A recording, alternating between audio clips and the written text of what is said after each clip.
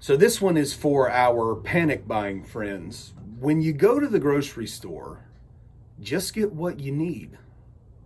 The bare necessities, you might say.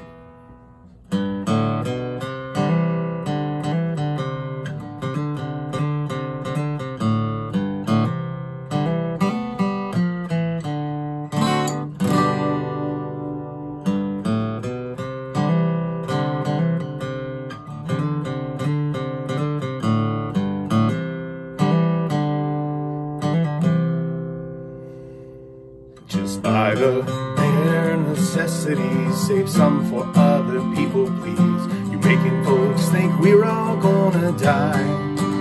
I mean the bare necessities, coronavirus recipes. Just stay home, wash your hands, and save life. Whenever you wander, whenever you roam, you spread and scatter the virus clones. The streets are totally empty. Take it from medics just like me. When you shop, leave out the boxing can and take a glance at the meats and plants and maybe buy a few.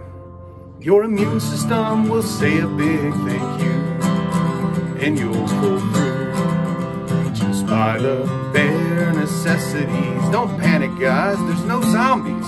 Just one pack of that TP will be fine.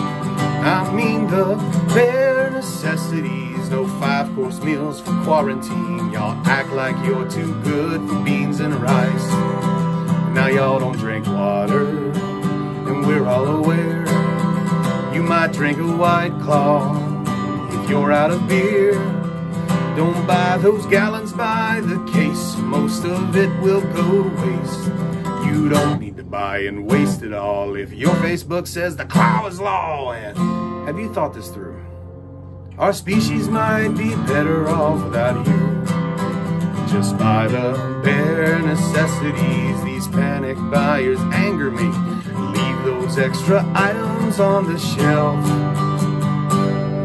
I mean the bare necessities. And one more thing now, if you please. There's no damn way that Epstein killed himself.